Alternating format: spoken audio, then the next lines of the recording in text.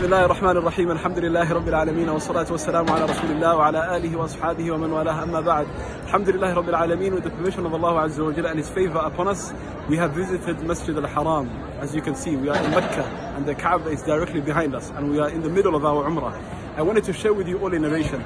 A companion came to the Prophet sallallahu alaihi wasallam and he said, Ya Rasulullah, O Messenger of Allah, ashtahi al-jihada wa la aqdiru alayh.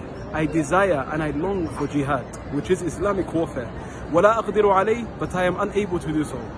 So the Prophet wasallam he said, Are any of your parents alive? And this companion said, Yes, my mother is alive. So the Prophet wasallam he said, Be dutiful to your mother. For if you do this, you will be given the reward of a Hajj, a person who has come for Hajj, a Mu'tamir, a person who has performed Umrah, and a Mujahid, which is what you asked us, the person who went for Islamic warfare. I.e., you will be given the reward of a pilgrim. You haven't visited the Haram, but you have done that. You have gi- been given the reward. You have been given the reward of Umrah, and you have been given the reward for Islamic warfare. What do you have to do? You have to be dutiful to your mother. You have to be dutiful to your parents. So this is a reminder for all of us. We are able to obtain so much reward from within our homes and our households.